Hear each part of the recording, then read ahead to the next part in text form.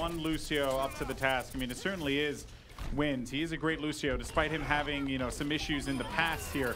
Uh, but so far, though, it's going to be an even trade on both sides. They end up losing two, uh, two supports, but for Rogue, that is going to hurt even more because he's solo supporting on this. uNKOE really close to being able to pick up that EMP, but I just don't see an opportunity for him to use it. He actually is just going to go with it, drop the EMP. Now they're going to go ahead, take out Fact Fiction, and Rogue, they're able to win this fight out here if they can get these kills. Yeah, you had Winz coming back off spawn. You use the EMP, you get back onto the point. Rogue doing a nice job farming the health packs that uNKOE is hacking here on the Sombra. AKM will get demeched, but Rogue still holding on on the point. Shadowburn out of the equation. NiKo Very takes well out Rogue want to get aggressive on here. I mean, they're just going to have to wait it out. Do they use it? Not yet, perhaps. Sound barrier has come out, though, for Rogue as they're looking to engage here.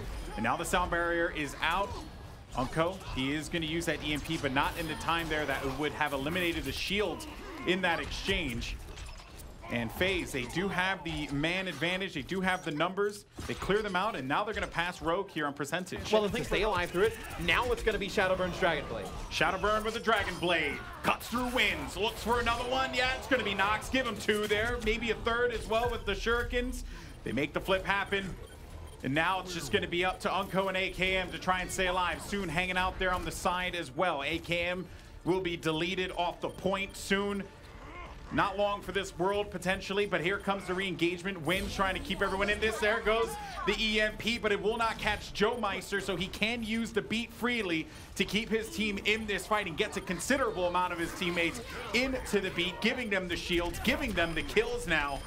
And FaZe, they win it out. He'll have that tac visor, and he will be a real thorn on the side of FaZe. He hasn't, or on, uh, yeah, for FaZe. He hasn't used it yet, though. He's still waiting this one out.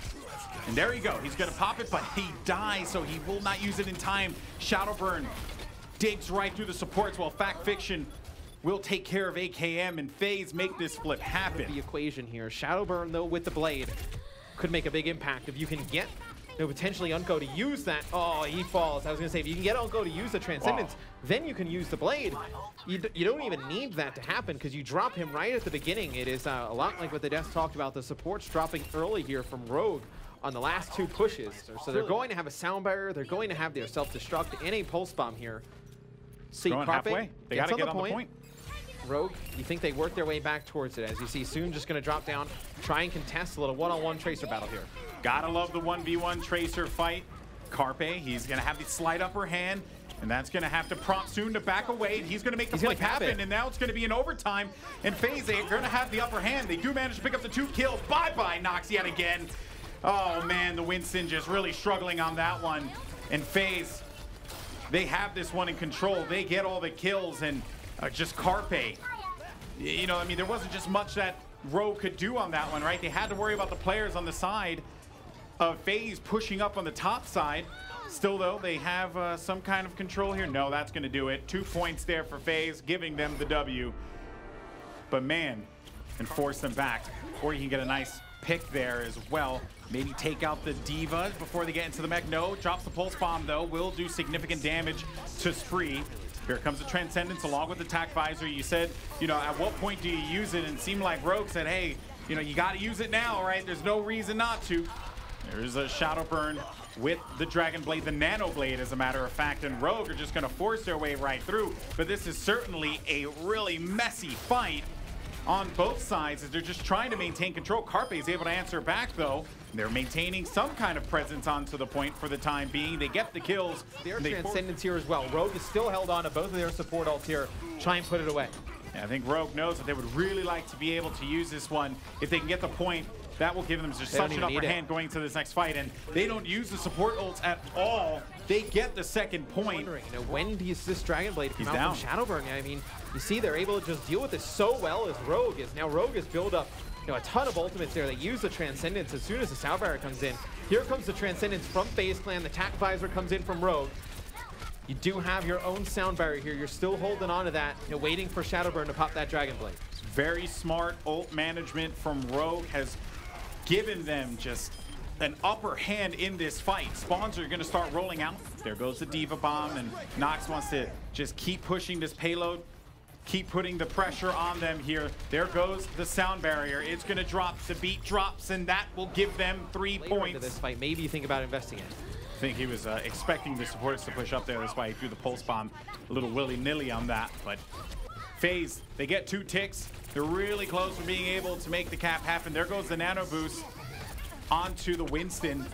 KnoxXx putting a lot of pressure onto them, but the sound barrier is dropped. Joemeister marches forward, and they get, they're getting the kills. FaZe so close to being able to make this cap happen, X. Yeah, and they actually take out AKM on the point as soon as the sound barrier. Wait for the opportune moment to use this one.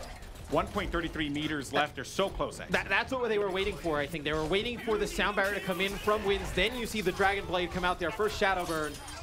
Deflect, you know, going right back in uNKOE's face as it's going to be two kills for FaZe Clan. It'll be KnoxXx using the Primal Rage, trying to stay alive, and there comes an EMP from AKM. Yeah, they just don't get all that much return there from the Dragon Blade, and you know that Primal Rage. He's just gonna force him to back away. But Fact Fiction immediately back into the action, getting two and getting that point there. They got to so- engage right now. Rogue have to jump into the action. They're so close from being able to make the cap happen. 2.44 meters.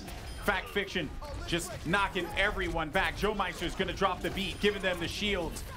And this is just looking very good here for FaZe as they get the kills. Here comes D.Va to try and contest and keep this one going, keep the defense living for Rogue. But that will do it. So much time given to FaZe here. Three minutes teammates to keep them alive in this one, but they end up losing out on the tanks early on. Both the DPS going to be tucked away into the corner now. Onto the point they go, but they're getting the kills. Soon into the back line. Overtime. In effect. Can they take out the supports? Can Soon dive in there and eliminate him? The flanker roll. And FaZe, they're picking them off left, right, and center. And that is going to do it. I mean, X, you know, I, I stand corrected. You are 100% right. Losing out, shoot the shield that was right through the wall there to try and just bring down the health. They're going to be on the point here, and this is kind of shades of what we saw in Control earlier where Carpe was able to get on to the point and force people to have to go back. FaZe, they're lining up the kills. Carpe will drop to Nico there as Spree, they get it. They clear them out.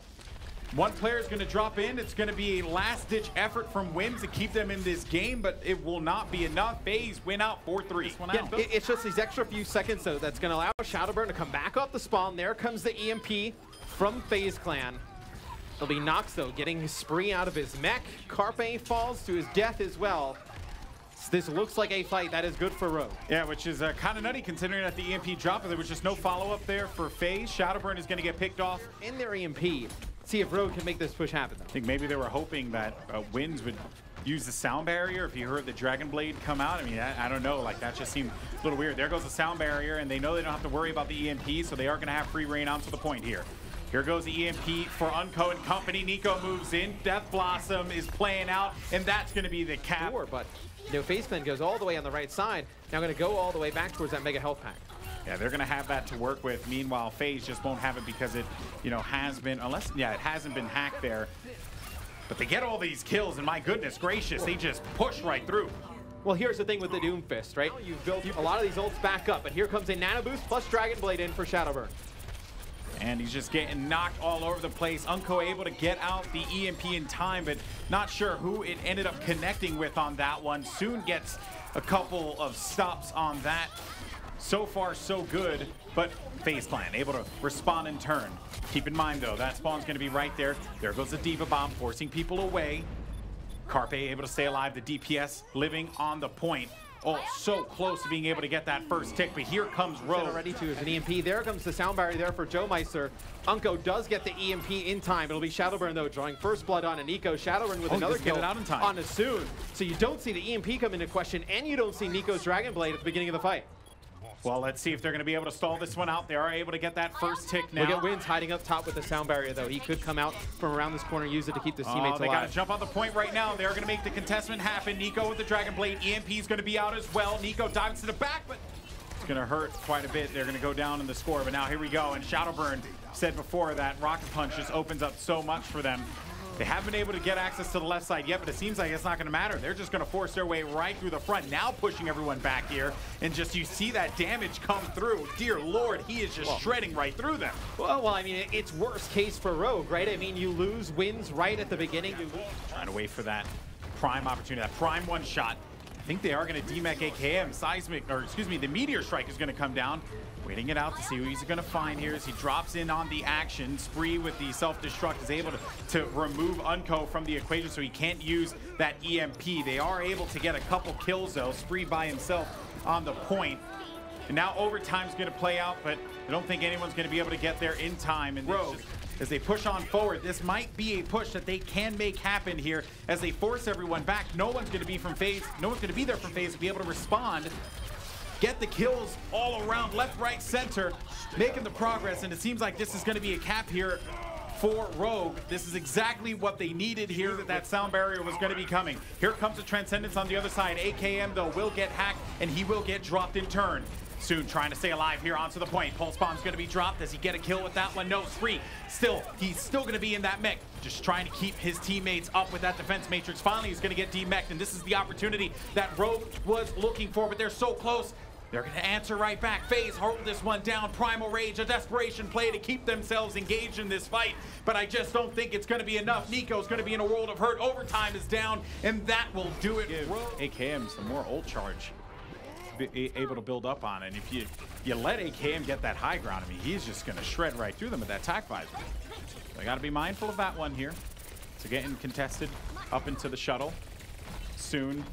Trying to see if he could bring down some of the help here of uh, you know, the members of FaZe as they don't want to give away that high ground. And for reasons that I just said, you just don't want to give that one up. You can't let the 76 get possession of that. Yeah, I mean, while uh, they're playing for this high ground, the payload has made a decent amount of progress. The tac visor comes out here for AKM as, you know, it gets eaten up. They did use the pulse bomb. He didn't really get much for it. There comes the Dragon Blade right into this death room here. That's going to have to prompt them to use the support ults to drop the beat. Shadowburn gets a kill onto AKM and uNKOE using the Transcendence basically as soon as he gets it here.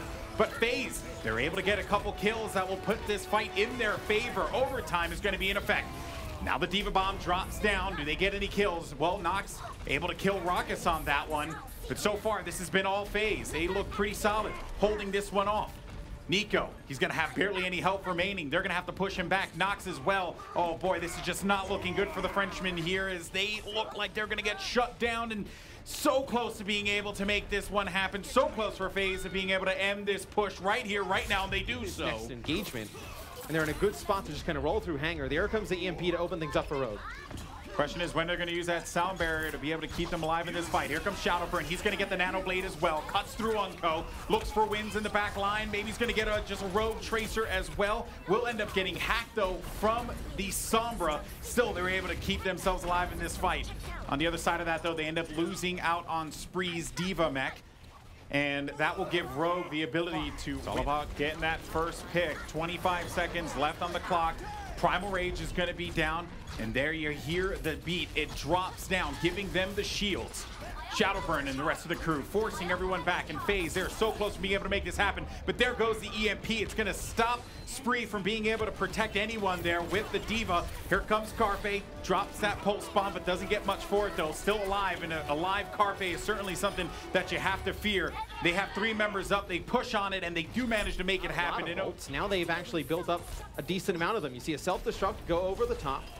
Not going to connect, connect with anything. Shadowburn, though, does have Dragon Blade yet again.